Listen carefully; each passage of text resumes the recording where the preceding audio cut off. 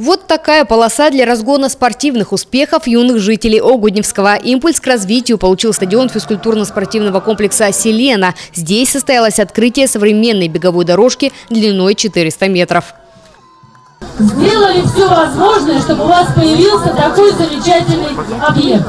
Я посмотрела, здесь современное покрытие, которое позволит вам заниматься легкой атлетикой, футболом, большим теннисом, у вас очень динамично развивающееся поселение и социально направленная политика поселения даст возможность вам быть только впереди и быть всегда победителями. Я вас с этим поздравляю и успехов вам, дорогие ребята и педагоги. После открытия дорожки пробный забег от учащихся местной школы. Вот уже 10 лет инфраструктура стадиона постепенно развивается. Не так давно здесь была реконструирована хоккейная коробка. На площадке появилось современное покрытие, а также оборудование для баскетбола, волейбола и даже большого тенниса.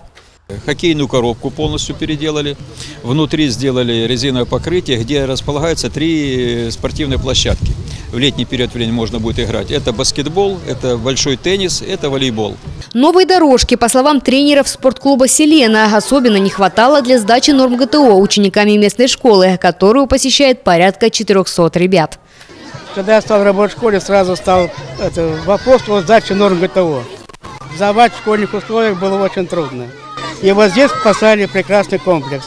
Бег 100 метров, можно 60 круговое море по 1000 метров. В этом сельском поселении очень хорошо сконцентрированы все силы Совета депутатов и главы поселения на реализацию наказов избирателей в рамках исполнения именно социальной направленности.